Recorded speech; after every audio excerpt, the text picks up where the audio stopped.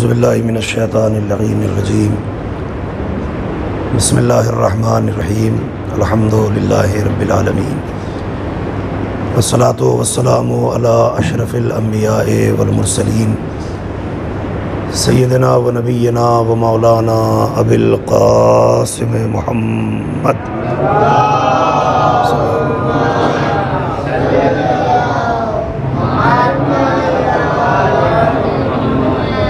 वसलात वसलाम तयबीन ताहरीन अलमासूमीन अलमजलूमीन अलमंतखबीन अलमंतजबीन अलगुरमयामीन वलनतुल्लाहि अला अदाइहिम अजमईन मिनलान यौमिद्दीन अम्मा बअदो फ़क़द क़ाल नबी सल्लल्लाहु अलैहि वसल्लम हुसैन मिन्नी व अना मिनल हुसैन, सलवात बर मोहम्मद व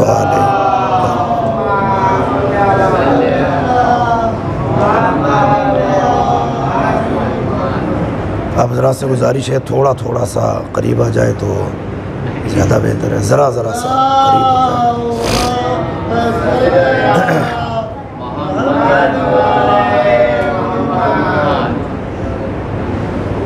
खुदांद आलम, तमाम ममिन और ममिनत को विलादत बासादत हज़रत ख़ामिस आलबा सरकार सैदुलशहदा इमाम हुसैन सलाम मुबारक फरमाए। और आज फितरुस गहवार हुसैनी से बालों पर की दौलत लेके गया है। दुनिया का जो मोमिन या मोमिना कोई हाजत रखती है, परवरदिगार, तुझे वास्ता इस अजीम शख्सियत का कि जिसके आने से हज़ारों साल का मुश्किलों में घिरा हुआ, अपनी मुश्किल का हल लेके चला गया मोमिन व मोमिनत की ख्वाहिशात और मुश्किल को मुकम्मल फरमा। तुझे वास्ता मोहम्मद वाल मोहम्मद का इमाम के सदक़े से हमारी तमाम बलाओं को रद्द फरमा। और आप हजरात से गुजारिश है कि बारगाह इमाम ज़माना अजल्ला फ़रज शरीफ में एक बावाज बलंद सलवात के साथ मुबारकबाद पेश फरमाए।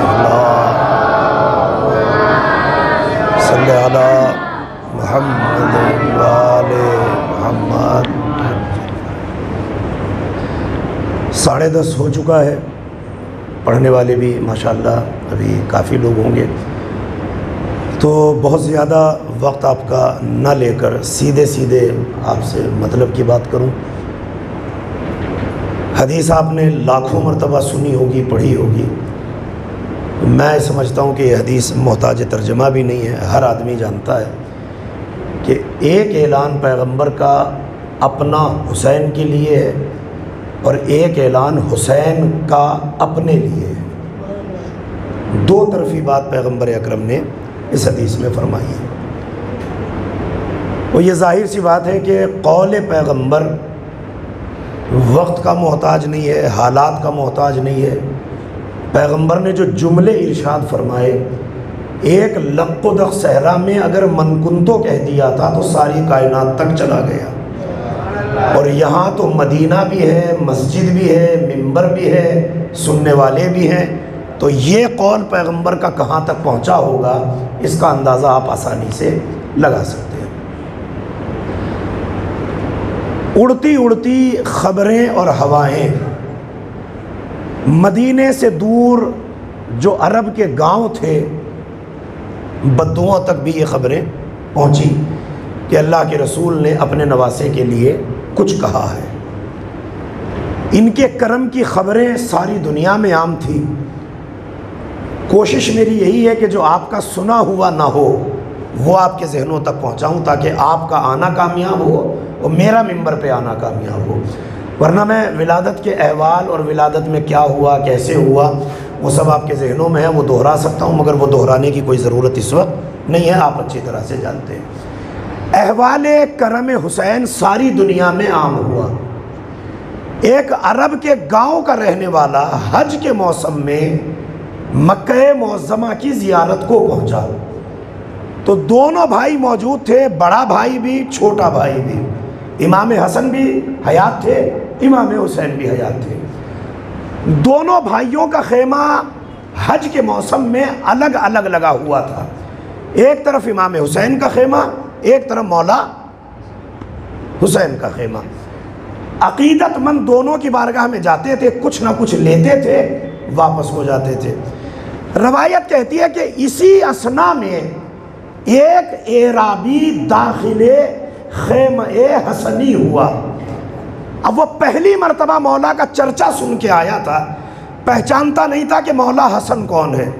खेमे में मजमा लगा हुआ है, जैसे आप लोग बैठे।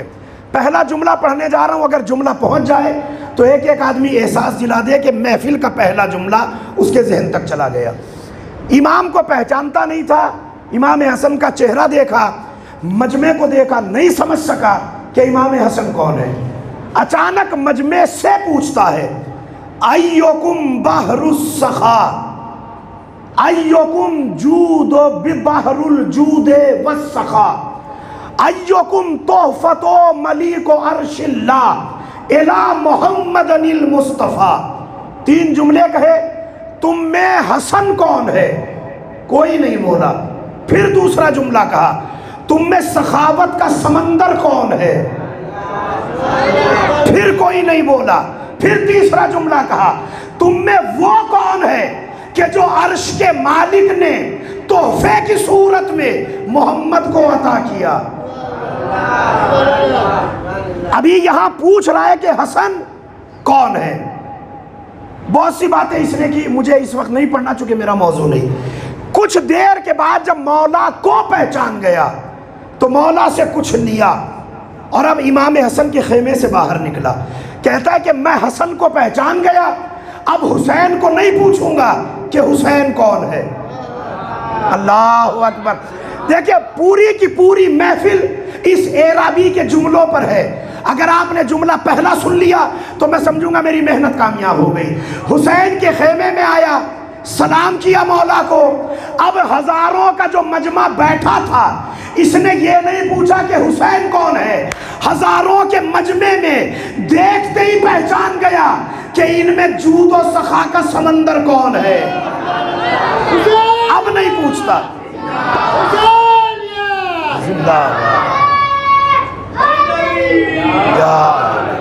अब बहुत तवज्जो से सुनिएगा। अब किसी से नहीं पूछता कि हुसैन कौन है। चेहरा देखा, हज़ारों के मजमे में पहचान गया, इस कायनात का मालिक कौन है? इस कायनात का वारिस कौन है? अब इमाम हुसैन को सलाम किया और कुछ जुमले कहे, खैराजन, इमाम हुसैन की बारगाह में। पहला जुमला कहता, पहला जुमला कसम खुदा की जुमला नहीं है, फजाइल का समंदर है।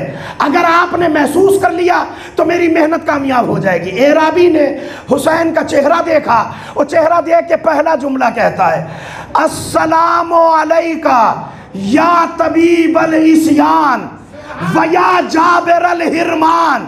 अस्सलाम अलैका, या हसन अस्सानी वया मुस्तफ़ा जमान। अस्सलाम अलैका, या मखदूम रिजवान वया मुरखसल जिनान। आगे भी उसने बहुत कुछ कहा। अगर मेरे कलेजे ने, आवाज़ ने साथ दिया, और मैं ये दो तीन जुमलों की वजाहत कर सका तो इन आपको इन्हीं तीन जुमलों में तीन शाबान आज की नज़र नहीं आएगी।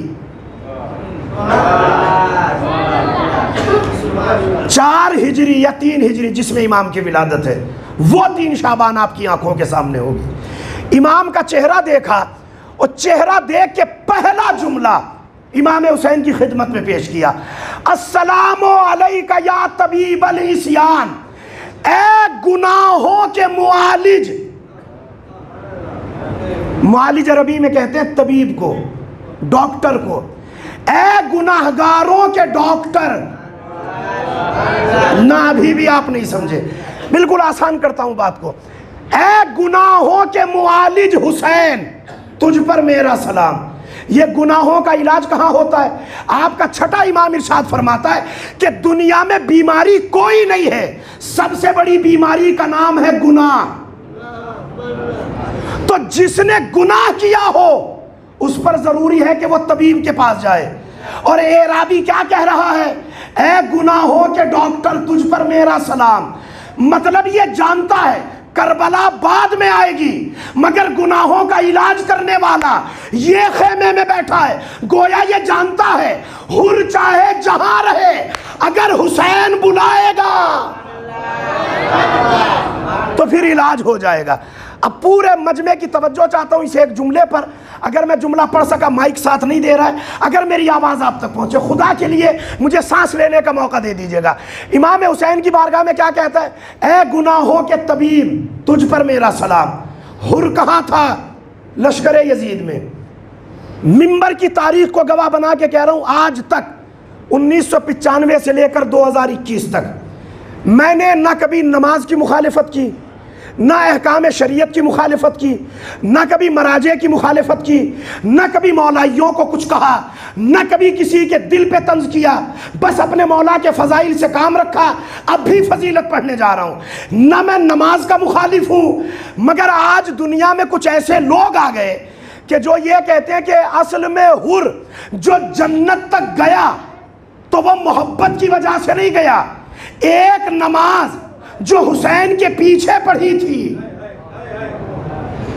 जब लजा में फरस पे हाथ डाला था, पानी वानी पी लेने के बाद तो नमाज़ का वक्त हो गया था। नमाज़ पढ़ाई थी फरजंद जहरा ने। इमाम ने कहा कि तू अलग पढ़ना चाहता है या जमात से पढ़ेगा? कि नहीं मौला, आपके पीछे पढ़ूँगा। तो हुर पीछे खड़ा हुआ। हुसैन इमाम बन के आगे खड़ा हुआ। इमाम हुसैन ने नमाज़ पढ़ाई, हुर ने नमाज़ पढ़ी। आजकल कुछ ऐसे नमाज़ के मुतवली वकील, के जो नमाज़ को सब कुछ समझते हैं, अहले बैत को कुछ नहीं समझते। वो मिंबरों से कहते हैं कि असल में हुर, जो जन्नत तक गया, वो उस नमाज़ की वजह से गया, जो इमाम के पीछे पढ़ी थी। अब मेरा सवाल आपसे है, हुर था लश्कर यजीद में? हुसैन के साथ तो नहीं था। अम्मा, जो लजाम पे हाथ डाल दे तो हुसैन के साथ तो नहीं होगा। तो हुसैन के साथ था नहीं। तो जितने अमल किए, सब बेकार। अल्लाह अकबर। अब इससे आसान शायद ना कर सकूँ इस माइक पर।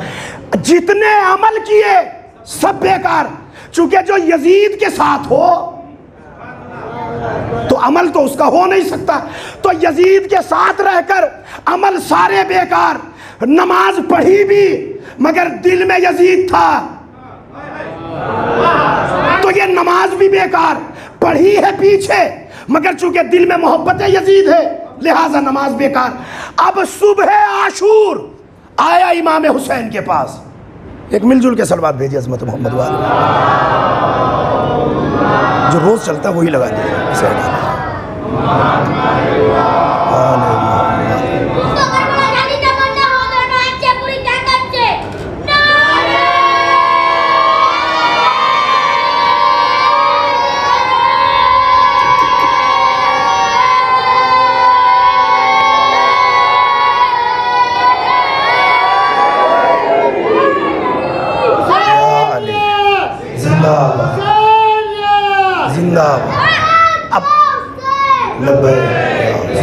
ये ठीक है ये ज़रा थोड़ी तकवीत दे रहा है। अब जुमले को तवज्जो से सुनिएगा जो जुमला आप तक पहुँचाने जा रहा हूँ। तो अब तक जितने अमल किए थे, सारे अमल बेकार। क्योंकि हुसैन की दुश्मनी में था, लश्कर यजीद में था। तो अमाल की कोई कीमत तो रही नहीं। तो जितना किया था, सब बेकार। सुबह आशूर, अजान अली अकबर सुनकर आया मौला की खिदमत में। आके माफ़ी मांगी। हुसैन ने रुकने का मौका नहीं दिया। फ़ौरन मैदान में भेजा। हाथ जोड़ के कहूँगा फर्जंद रसूल, इसे नमाज़ तो पढ़ने दो, ताकि जन्नत का हकदार हो जाए। हुसैन शायद आवाज़ दे। पहली रही नहीं अब पढ़ने नहीं दी। क्यों ना पढ़ने दी? ताकि दुनिया के वहाबियों को पता चल जाए हुर को जन्नत में नमाज़ नहीं ले गई। मोहब्बत हुसैन। अस्सलाम यार या तबीब अली सियान। ए गुनाहों के मुआलिज, तुझ पर मेरा सलाम। वया जाबर अल हिरमान, ए ना उम्मीदों की उम्मीद।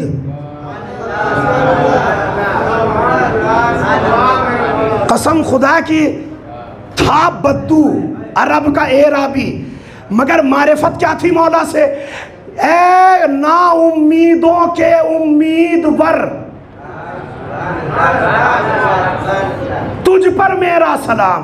अब दूसरा जुमला सुनिए। अस्सलाम अलैका या हसन असानी ए दूसरे हसन। अल्लाह अकबर। ए दूसरे हसन, तुझ पर मेरा सलाम। जब दोनों शहजादों के नाम को एक जगह मिला के लिया जाता है तो क्या कहते हैं? हसनैन। दो हसन या दो हुसैन।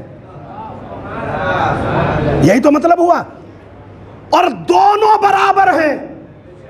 ना कोई कम है ना कोई ज़्यादा है। ये फ़जाइल चूँकि मौला के ज़्यादा पढ़े जाते हैं लिहाजा इमाम हसन की हमें उतनी मारिफत नहीं है। लेकिन दोनों बराबर हैं। आप कहेंगे मैं बराबर क्यों कह रहा हूँ? बराबर इसलिए कह रहा हूँ कि दोनों शहजादों ने एक दिन तख्ती लिखी। माँ रोज़ाना तकरीर सुनती थी। एक दिन का बेटा लिख के दिखाओ कि तुम्हारी तहरीर कैसी है। एक तख्ती मौला हसन ने लिखी, एक तख्ती मौला हुसैन ने लिखी। दोनों बच्चे अपनी अपनी तख्ती लेकर माँ की खिदमत में आए। अम्मा देखिए, मैंने कैसा लिखा? जहरा ने कहा सुबहान अल्लाह हुसैन ने कहा, माँ, मैंने कैसा लिखा? का मेरे लाल सुबहान अल्लाह का अम्मा, ये बताइए कि बेहतर किसने लिखा? का दोनों ने एक जैसा लिखा। का नहीं, फैसला करना पड़ेगा कि बेहतर कौन है? जहरा ने तस्बी से दाने निकाले सात ज़मीन पे डाले का जो ज़्यादा उठा लेगा, उसकी तहरीर बेहतर। दोनों के हाथ बढ़े तीन तीन दाने दोनों के हाथ में आए। अब एक दाना बचा था, दोनों का हाथ बढ़ा। अल्लाह ने जिबरील को भेजा पर को मार दाने को दो कर ताकि दुनिया को पता चल जाए ना हसन कम है। दोनों बराबर है। या हसन सानी। जन्नत के जवानों के सरदार हज़रत इमाम हसन अलैहिस्सलाम पर बावा से बुलंद सलवार। मुहम्मद व आलि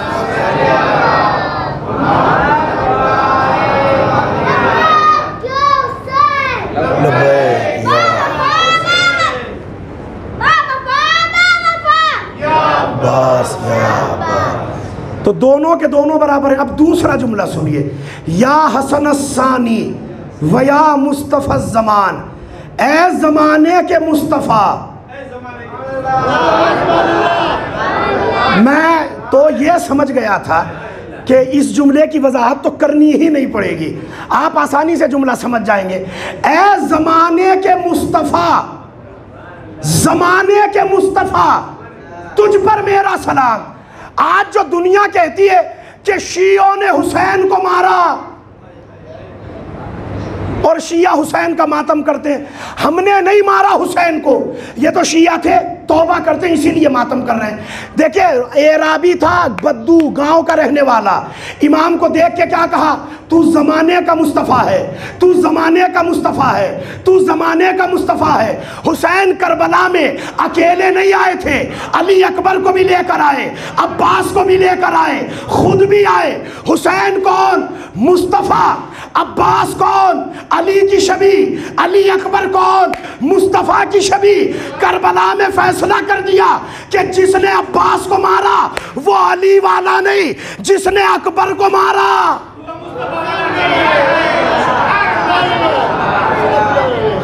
तो किसने मारा हुसैन को? अली वाला तो शिया होता है। अली वाले अली अकबर को या अब्बास को मार नहीं सकते। और अली वाले मोहम्मद को नहीं मार सकते। तो किसने मारा? तय कर दिया एराबी के जुमले ने।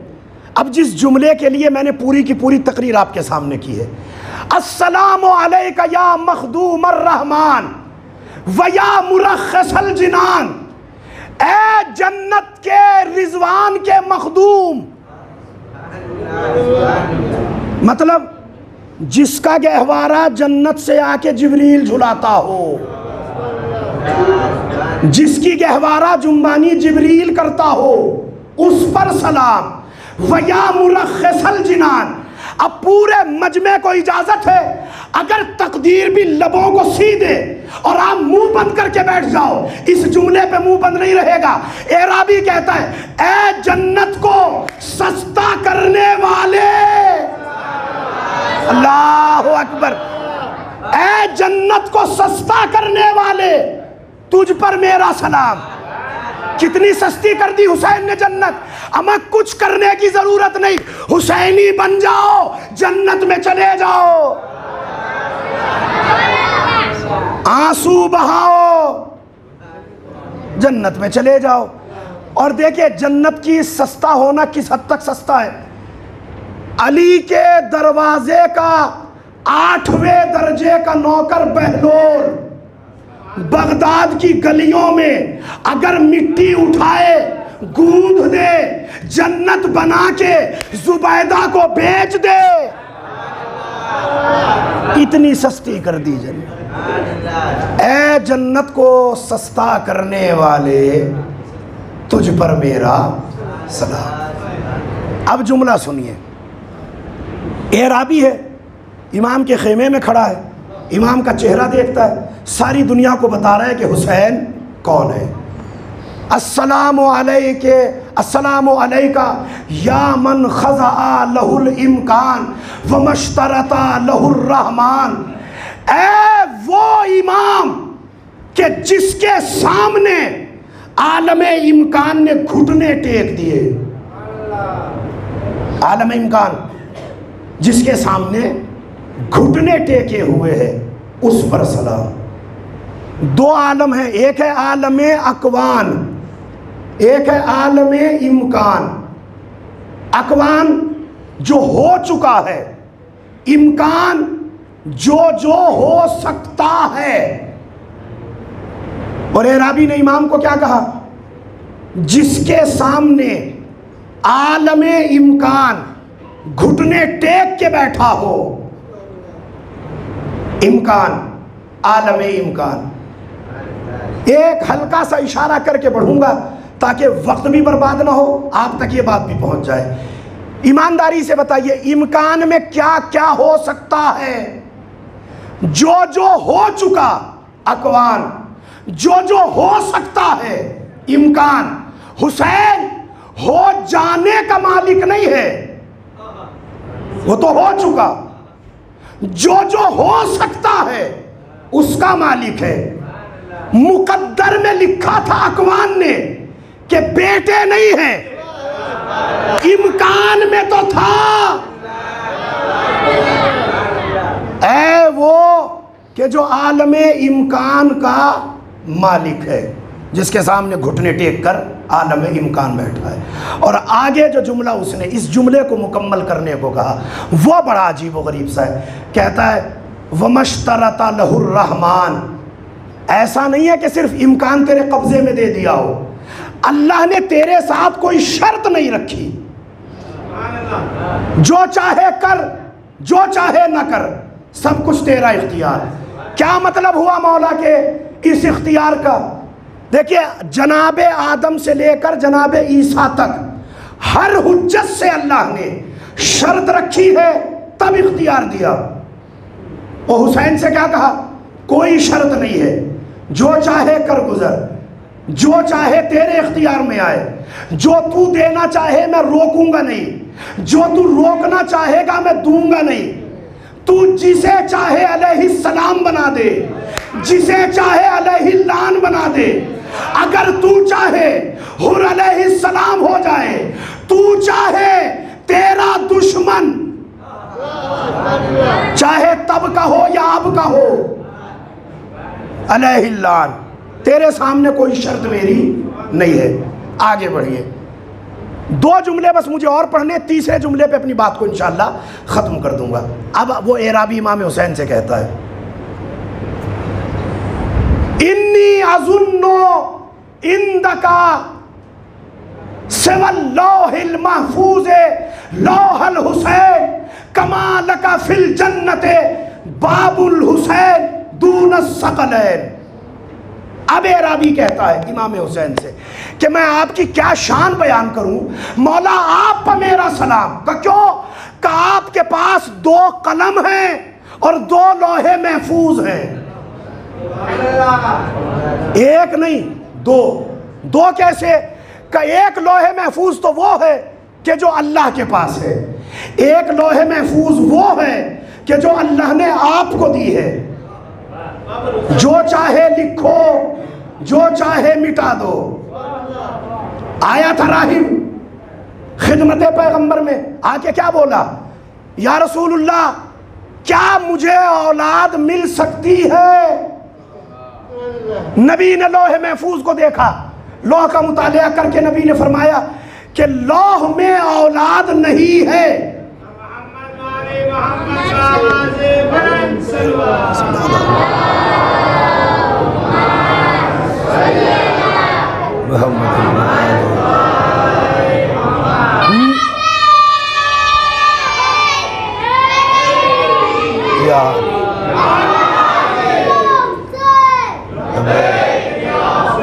नबी ने लोहे महफूज को देखा और देखने के बाद क्या कहा कि तेरे मुकद्दर में औलाद नहीं है आया अब रवायतों में यहाँ दो नाम मिले एक राहिब मिला एक एराबी मिला। राहिब पे लोगों को एतराज़ है, राहिब को छोड़ दीजिए। एराबी तो था कि जो औलाद का सवाल लेके आया। नबी ने कहा, तेरे मुकद्दर में औलाद नहीं। यहाँ से नाउमीद पलटा। अगर ये नबी से कहता कि मुझे औलाद दे दो। अगर नबी से कहता, औलाद दे दो तो अल्लाह के नबी के इख्तियार में था, दे देते। तक जो मिसगाइड किया गया इस मामले में, वो यही है कि नबी ने तो दिया नहीं, हुसैन कैसे दे देंगे? अमन नबी से मांगा होता तो मिलता। क्या कहा कि देख के बताइए मुकद्दर में औलाद है या नहीं? नबी ने लौ को देखा कि तेरे मुकद्दर में औलाद नहीं। कहता, हाथ बढ़ाइए, कलमा पढ़ू। अब यहाँ से वापस चला। इतने में छोटा शहजादा दरवाजे से दाखिल हुआ। कहता, क्या बात है? कौजूर वो औलाद के लिए पूछा था, नबी ने कहा, तेरे मुकद्दर में औलाद नहीं। कहा, चल मेरे साथ। आके कहता, नाना, क्या इसके मुकद्दर में औलाद नहीं? कहा नहीं। कहा, मैंने एक दिया। दो, तीन, चार, पाँच, छ, सात।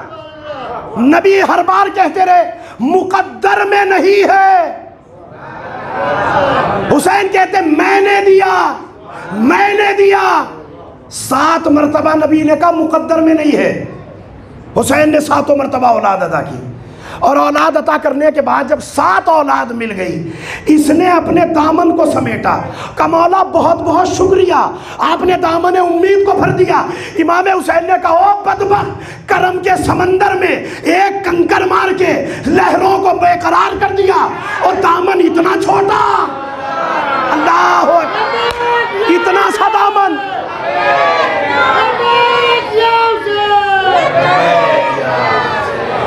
दामन इतना छोटा सा लेके आया यार अब साहिब अवाली का जुमला है इमाम हुसैन ने का दामन इतना छोटा लेके आया अगर तू खामोश रहता तुझे इतनी औलाद अता करता क्या कयामत के मैदान में आदम की औलाद एक तरफ़ होती तेरी औलाद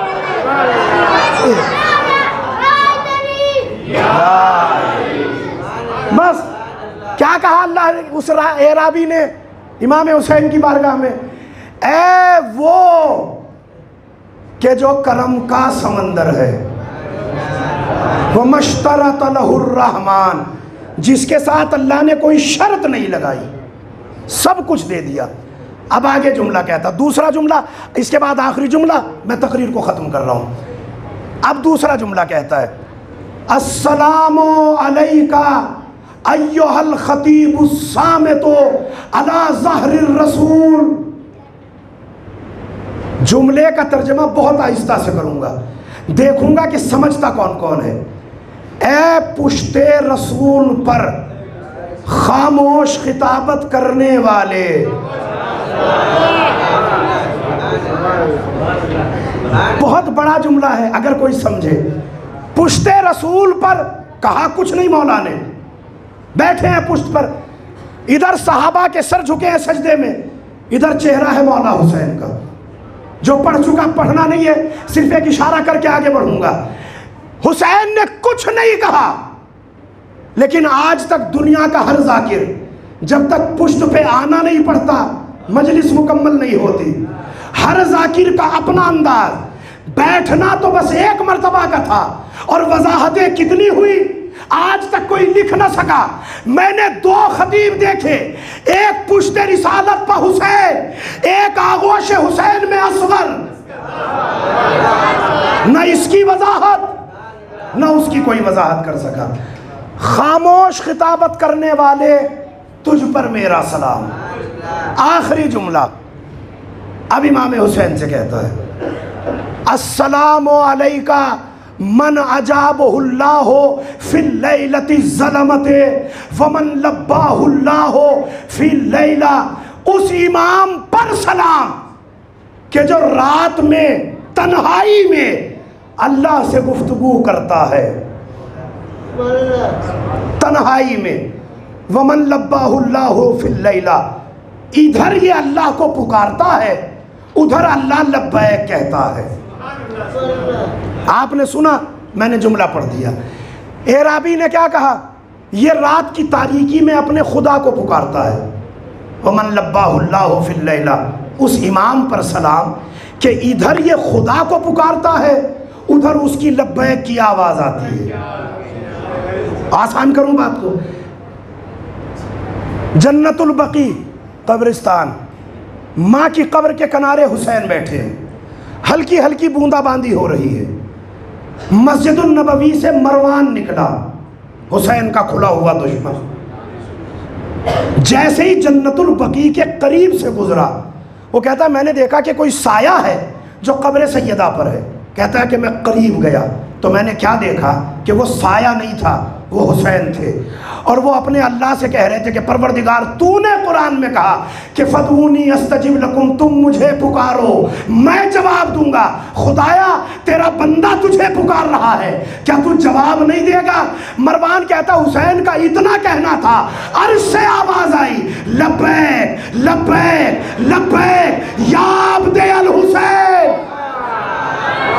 फ़ौरन आवाज़ आई, मैं हाजिर हूँ मेरे बंदे। आवाज़ किसकी आई? खुदा की। अब जहन को रोकिए, थोड़ा सा पीछे चलिए। हज किया है आप लोगों ने? काफ़ी लोग होंगे जो हज के लिए गए होंगे। हज में जब तक खान खुदा से दूर रहते हैं तो क्या पढ़ा जाता है? कदम बढ़ाते हुए। तलबिया, लब्बैक अल्लाह लब्बैक इन हमदवन मतलक लब्बैक। पढ़ते हैं ना तलबिया इसी को कहते हैं लब्बैक कहना। इसी को अरबी में कहा जाता है लब्बा, लब्बैक कहना। इमाम हुसैन ने अल्लाह से कहा, परवरदिगार, तेरा वादा है कि अगर कोई तुझे पुकारेगा तो तू लब्बैक कहेगा। तेरा बंदा तुझे पुकार रहा है, क्या तू नहीं आवाज़ देगा? फ़ौरन आवाज़ कुदरत आई, लब्बैक या अब्दे अल हुसैन, लब्बैक या अब्दे अल हुसैन। आपने जुमला सुन लिया, मैंने पढ़ दिया मगर जुमले पे गौर नहीं किया। अमा सारी दुनिया उसे लब्बैक कहती है, वो हुसैन को।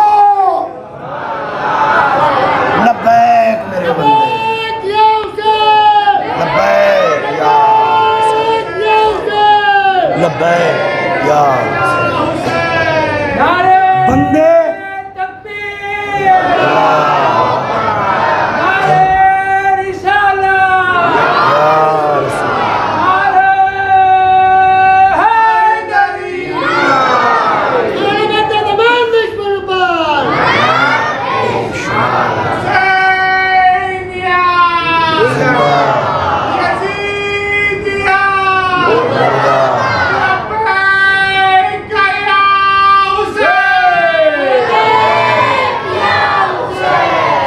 तो सारी दुनिया उसके घर जाके उसे लब्बैक कहती है।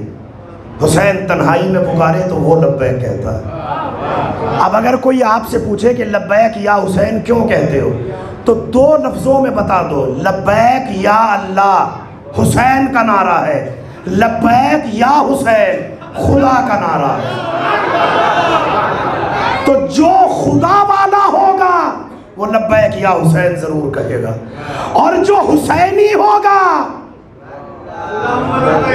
वो अल्लाह अल्लाह ज़रूर कहेगा। आखिरी जुमला, अब ये जुमला नहीं है, उसका एक सवाल है। सब कुछ कहा, सारी बात छोड़ रहा हूँ चूँकि अभी आपका प्रोग्राम और लंबा जाएगा और लगभग ग्यारह बज के पाँच मिनट हो चुका है। मुझे अपनी बात को यहाँ ख़त्म करने की तरफ़ बढ़ना आखिरी जुमला इन कल दोपहर की तकरीर में या शाम की तकरीर में या जो जुलूस से पहले तकरीर होगी, उसमें कुछ अर्ज़ करने की कोशिश करूँगा, बिल्कुल आसानी के साथ। अब कहता है कि मौला, मैं आपकी खिदमत आलिया में क्या अर्ज़ करूँ? इमाम ने देखा कि अल्लाह तेरी इस खिदमत को कबूल करे कि तूने हमारी किस शान में कसीदा पढ़ा। क्या चाहता है? कहता, लिया सुआलान मौला, मेरे दो सवाल हैं।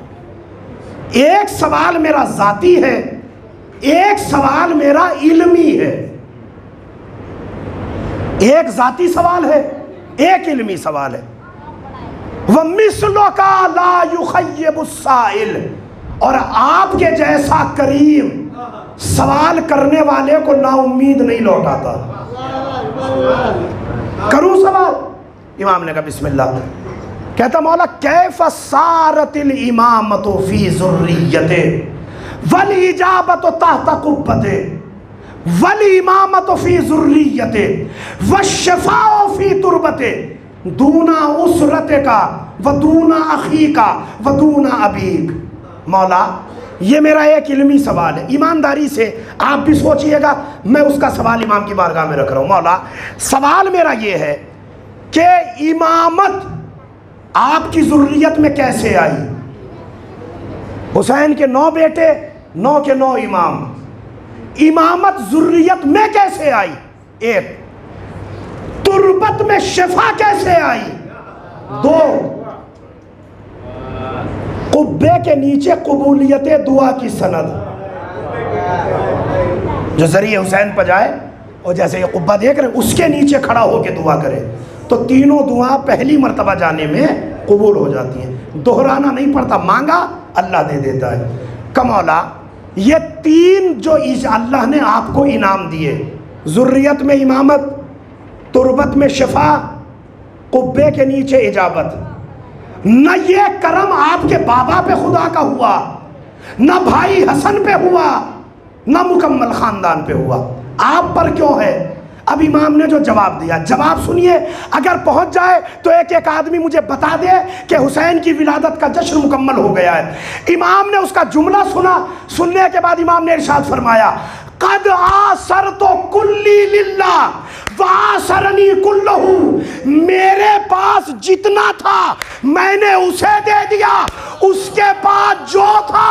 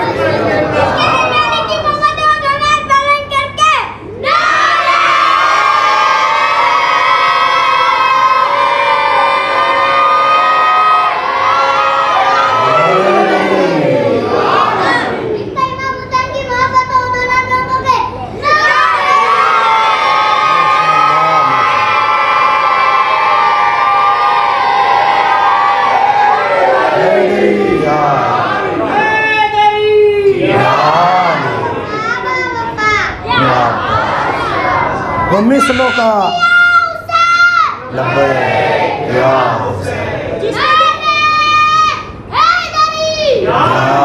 जिसने दिल में हुसैन की मोहब्बत और दोनों हाथ बुलंद करके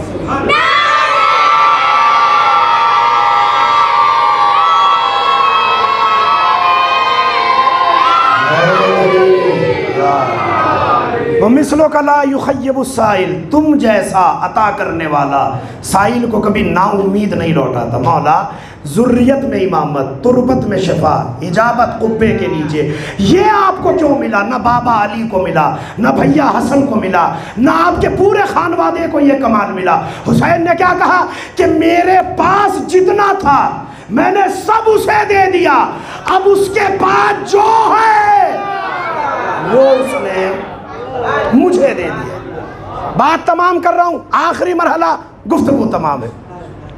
ईमानदारी से बताइए। लोग वहीं पे आके अटक जाते हैं जहाँ से बात का आगाज़ हुआ। कि साहब इमाम हुसैन कैसे बेटे दे सकते हैं जब लोहे महफूज पे नहीं लिखे थे? तो ये तो इसरा एराबी ने भी बता दिया कि दो लौ हैं हुसैन के पास।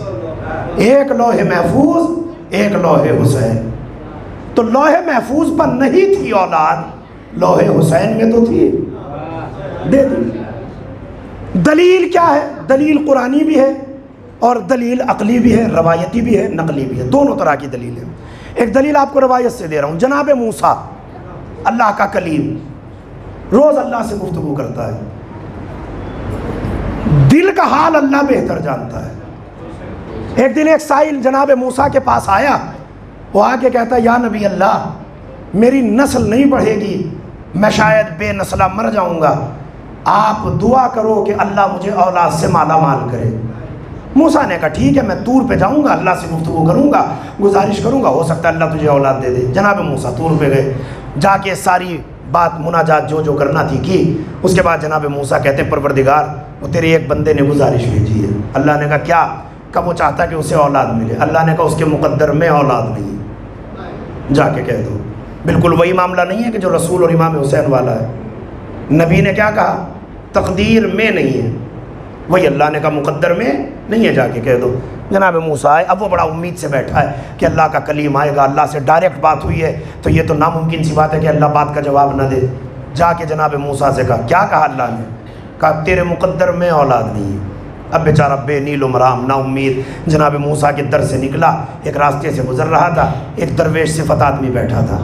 उसने लटका हुआ चेहरा देखा कि क्या बात है? वो तुझे क्या मतलब? मैं हूँ किसी परेशानी में? कब बता तो सही। हो सकता मैं परेशानी का हल दे दूँ।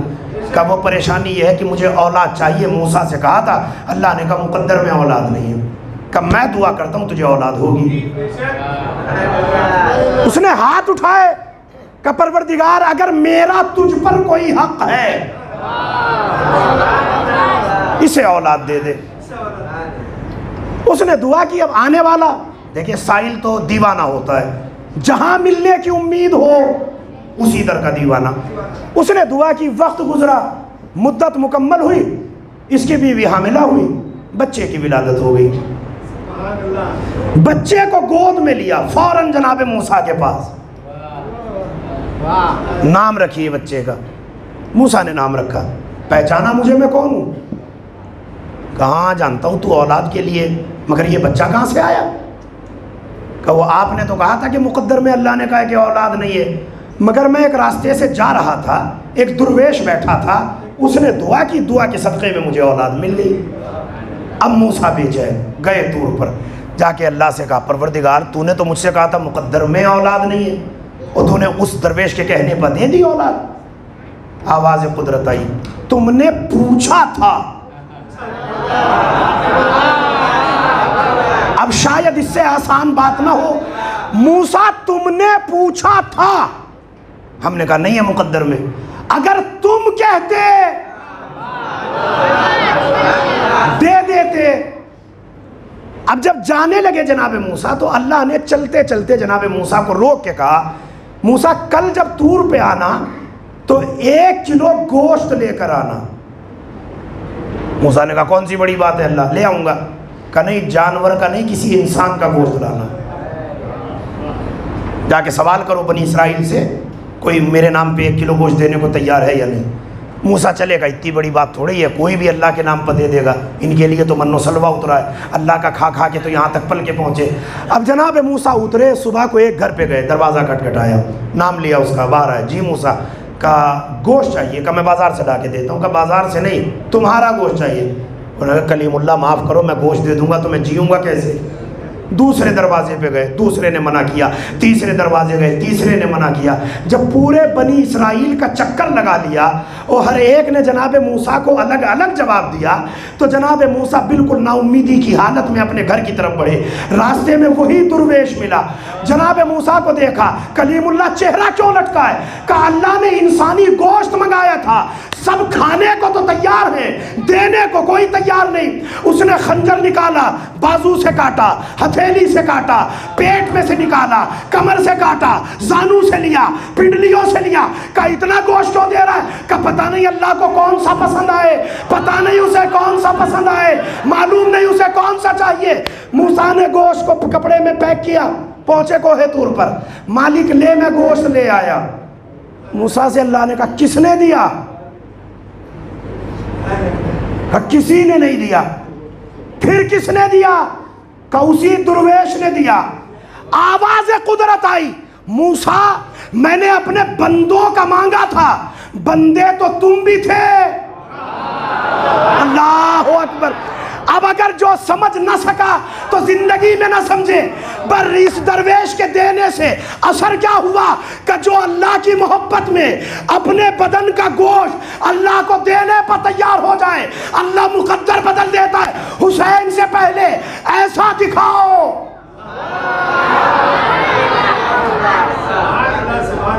दे दिया मौला ने। अब कहता मौला, आप साहिल को ना उम्मीद। नहीं लौटाते एक सवाल मेरा मुकम्मल हो गया।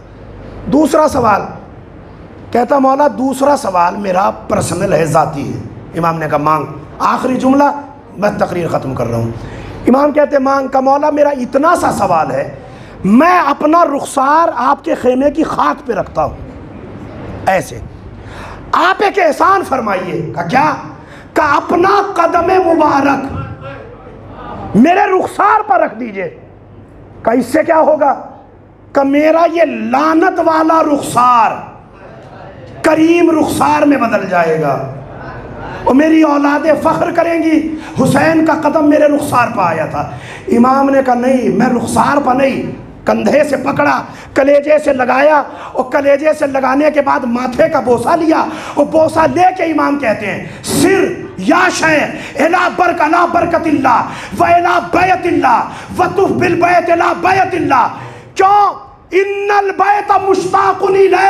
शेख, मेरे खेमे से निकल। अल्लाह के घर तक जा। अल्लाह की बरकतों के साय में। अल्लाह के घर का तवाफ कर। मौला क्यों? का काबा तेरा इंतज़ार कर रहा है। क्या मतलब हुआ? का जिसे हुसैन कलेजे से लगा ले। उसका मुंतजिर काबा होता है। चला काबे की तरफ़, काबा हनी लगा हनी लगा हनी लगा कहते हुए इस मर्द मोमिन के इस्तकबाल में बढ़ा।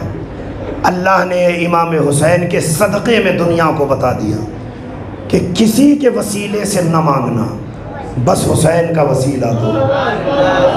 जो मांगोगे सब आता हो जाए इमाम के खेमे से निकला। आज तीन शाबान की शब है। आप अब महफ़िल में इंशाल्लाह तशरीफ़ फरमा होंगे। कल फिर महफ़िल होगी, फिर एक जुलूस मुबारक बरामद होगा। आखिर में फिर मौला अब्बास की विलादत की शब है कल तो उस मुनासिबत से तकरीर होगी। इन आखिरी तकरीर मैं मौला अब्बास की मुनासिबत से करूँगा। कल दोनों तकरीरें इसी मौलूद के हवाले से होंगी। बस आपसे दुआ है कि दुआ करें परवरदिगार आलम। इस मौलूद के सदक़े में कि जिसने फ़ितरुस को बालों पर अता किए खुदाया इस मजमे में जो लोग बैठे हुए हैं, जो हाजत लेके आए हैं, परवरदिगार इमाम हुसैन के सदक़े से उनकी हाजतों को पूरा फरमा। तुझे वास्ता जनाब जहरा के चाँद का जो तीन शाबानमज़म को मुकम्मल हुआ है, निकला है, परवरदिगार इस हिलाल जहरा के सदक़े से जो मोमिन मोमिनत अभी तक बे औलाद हैं। उन्हें हुसैन के सबके से औलाद अता फरमा। जिनको तूने औलाद अता की, उन्हें परवान चढ़ा। तुझे वास्ता मोहम्मद वाल मोहम्मद का, तुझे वास्ता इमाम हुसैन की अजमत जलालत का। परवरदिगार, हमें हकीकी मा लफ्ज़ों में, हकीकी माना में मारफत हुसैनी से सरशार फरमा। हम इमाम हुसैन, रसूल खुदा के दीन पे अमल करते हुए ज़िंदगी गुजारें। हम जिए तो दीन हुसैन पर मौत आए तो हुसैन के दीन पर। परवरदिगार, तुझे वास्ता मोहम्मद वाल मोहम्मद का। जिस तरह से आज ये मजमा यहाँ पे जमा हुआ है। खुदाया, इसी तरह आइंदा, महाफिल और मजालिस के जो खानवाद अहल बैत से मनसूब है, इसी तरह से शिरकत की तोफ़ी इनायत फरमा। परवरदिगार तुझे वास्ता मोहम्मद वाल मोहम्मद का, जिस मौलूद का हमने तस्करा किया है, जल्द से जल्द करबला की ज़ियारत नसीब फरमा। मज़ारात मुक़दसा की हिफाजत फरमा। मुसलमानों के आपसी भाईचारे को ज़िंदा व जावेद फरमा। तुझे वास्ता मोहम्मद वाल मोहम्मद का गुस्ताख अहल बैत, गुस्ताख कुरान, गुस्ताख रसूल, वसीम मलून को नस्त नाबूद फरमा। वास्ता अज़मत आल मोहम्मद का हमारे वारिस के ज़हूर में ताजील फरमा। हमें इस लायक बना के मौला के नासिरों में हमारा शुमार हो। आप हजरात से गुजारिश है आखिर कलाम में कि बावाज़ बुलंद सलवात के साथ इमाम की खिदमत में मुबारकबाद पेश फरमा